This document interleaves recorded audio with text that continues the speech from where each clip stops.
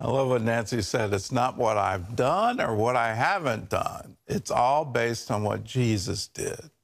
And he did it 2,000 years ago. He did it on a cross. And the Bible's quite clear. By his stripes, we are healed. The Apostle Peter, he quoted that verse from Isaiah chapter 53. He quoted it and said, By his stripes we were healed. He put it in the past tense. You can put your disease, you can put your pain, you can put everything that is wrong in the past tense because Jesus makes it possible. The same sacrifice that paid the price for all your sin, he laid on him the iniquity of us all. That's Isaiah chapter 53. It's same same chapter, same act, same crucifixion, that shows God's will. God's will is for you to be forgiven of all your sins. His will is for you to be healed of all your diseases. He has already provided the sacrifice. It's not based on what you do, it's based on you saying yes to that. Let that word be quickened for you. Let it become your yes and amen. May all the promises of God be for you, yes and amen, in Christ Jesus. It's not based on anything else. We get so wrapped up in religious concepts. You know, I've got to make myself good enough, or I've got to, you know, fast enough, or I've got to tithe enough. I've got to do all of the enough in order for God to pay any attention to me. Well, He loves you infinitely. Before the world was ever created, before he laid out the foundation of the world, he was thinking of you and thinking how he could provide good things for you, good works for you to do, things that would satisfy the desires of your heart. But most importantly, that you would be unveiled, that you would be able to see him and hear him and experience his healing, his forgiveness, his salvation. You can have it all, and you can have it right now. Pray a wonderful prayer. Pray that your eyes would be opened, your ears would be open, that you would understand the greatness of his power towards us who believe. I'm quoting the, uh, the Apostle Paul. You can have the same prayer. He, he wrote the prayer down for us, for us to follow it. Pray your eyes would be open, your ears would be open, all doubt and unbelief would be scattered from your heart in the light of His glorious presence, the greatness of His power towards us who believe. Now, Ashley and I are going to pray for you. Before we pray, we've got some other miracles that have happened. Here's Pamela from North Carolina.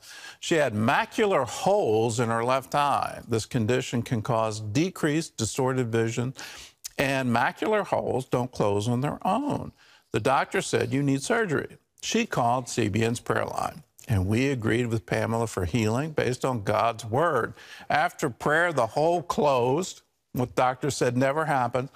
It happened. The hole closed. Her vision returned to 2020. Wow, that's absolutely incredible. Here's another miracle answer to prayer. This is Joanne. She emailed us saying, I watch the 700 Club every morning. Thank you for watching. I have been praying with Gordon for healing of my neck, back, and hip. After praying for many months, I'm feeling God's healing, and I'm so thankful. Have faith and believe Jesus heals. Also, prayers for my sons have been answered. Thank you, Jesus. I have grown in faith through Scripture. Praise God. Let's pray. Lord God Almighty, we come to you. We come believing in the one that you sent. We come believing in Jesus. His very name means salvation. He is the essence of salvation, of healing, forgiveness, the very reflection of your love and who you are. Now we ask that you would stretch forth your hand to do miracles. Open our eyes that we can see it. Open our ears that we may comprehend so that we could turn and you could heal our disease. Do this for us, Lord, for we ask it in Jesus' name. Ashley, God's given you something.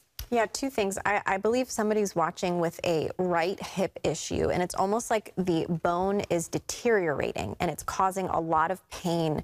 And I just believe God is touching your body right now. He's touching that hip. I believe the bone will be completely restored, and you will not have to suffer any longer with that pain. In Jesus' name, just receive it and believe it. Also, I just believe God is literally uh, opening ears today. I believe a lot of people who are having ear issues, hearing issues, I just believe He's literally opening your ears right now. Things will begin to pop and you will begin to hear like you haven't been able to in a long time. Just receive that right now. Thank you, Jesus. There's someone you heard the testimony about, about macular holes, and you're suffering with macular degeneration. You even have a tear in the retina. You're looking at surgery to reattach it. God is able. He is healing your right eye right now.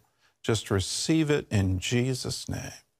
There's someone else, you've suffered with retinal problems for years, and you've lost vision in one eye, and God is able. He's able to restore what the doctors say can never be restored. He's able to give you your sight back.